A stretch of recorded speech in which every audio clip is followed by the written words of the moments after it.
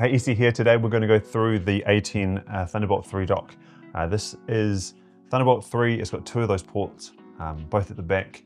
But the biggest thing that you need to know before you carry on watching this video, if you're looking at this or considering this, it is quite an old unit by the way, is that it uses DisplayPort, uh, not HDMI. So if that's not for you, and you're like, what is DisplayPort? I know what HDMI is. DisplayPort is just another configuration or plug that allows you to plug it into some of the monitors some monitors that you're using um, like will have both HDMI and DisplayPort, but if yours doesn't and only has HDMI, this one might not be the option for you. You can still make it work, you just need to get a USB-C to HDMI cable, but it also means that it takes out one of your two Thunderbolt 3 ports.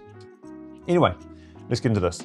This video is really if you want to know all the specifications on it, um, just have a good look at it and decide if this is something for you, or you're comparing on your journey of looking for Thunderbolt 3 docks, uh, what is the right option. Now, of course, there's some other brands out there like CalDigit, um, Belkin's got some awesome ones out there, and then Aten. Now, I got this about five years ago, so this is an old device that I'm sort of reviewing, but it's more as I've looked around I've been like, well, do I need to upgrade or not upgrade? And it does everything I needed to do day to day. So I'm using this currently with a MacBook uh, 14 inch Pro, M1 Pro, and it works seamlessly, totally fine.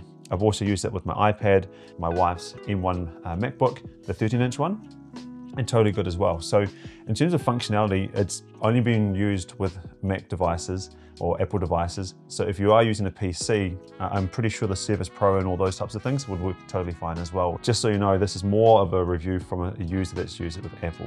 Now, when it comes to the specifications, we'll break those down right now. We've got two USB-A ports. Uh, both of these USB-A ports are 3.1 standard, one USB-C port at the front, and that's also 3.1 standard. So that means it's five gigabits per second compared to the Thunderbolt 3 ports that there's two of those that are on the back that are at 40 gigabits per second. Now, one of those ports is the power delivery one, which of course will probably plug into your device like your MacBook in my case, or iPad.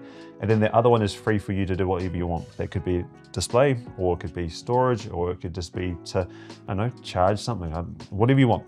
Then you've got a LAN port, uh, Ethernet gigabit, I think it's just one gigabit. And then you've got that mic and headphone combo, 3.5mm jacks.